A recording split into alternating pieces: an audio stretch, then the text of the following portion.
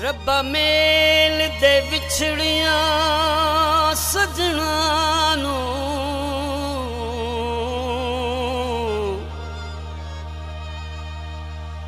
ਕਾਨੂੰ ਦਿਲਾਂ ਦੇ ਖੂਨ ਨਾ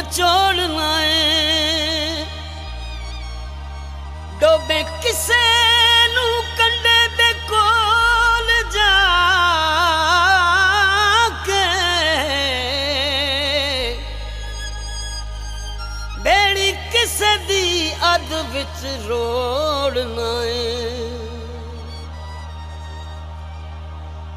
ਦਿਲ ਜੁੜ ਕੇ ਵੱਖ ਨਹੀਂ ਹੋ ਸਕਦੇ।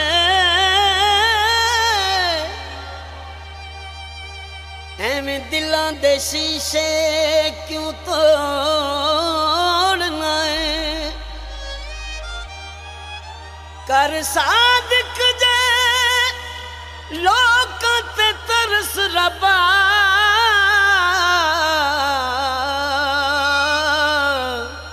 ਕਾਨੂੰ ਕਿਸੇ ਦਾ ਯਾਰ ਵਿਛੋੜਨਾ ਏ?